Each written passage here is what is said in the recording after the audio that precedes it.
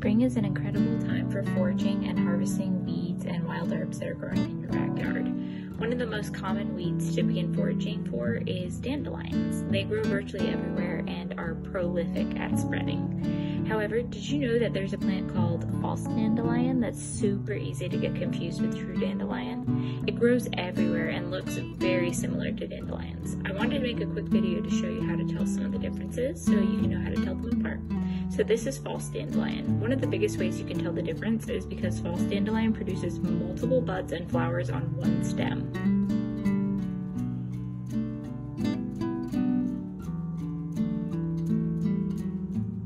True dandelion, on the other hand, only produces one flower or bud per stem.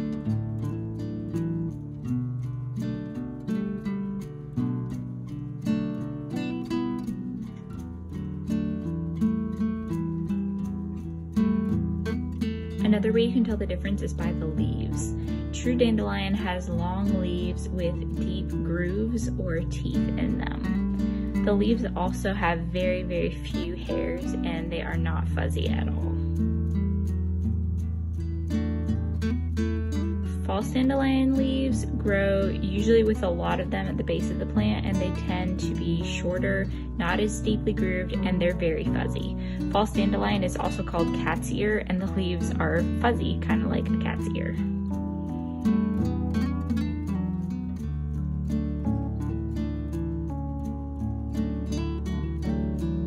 The flowers also look different if you look closely. Dandelion looks more fluffy to me and in my experience it has a lot of bugs that like to live in them, at least in my yard. Dandelion is on the right here in my hand.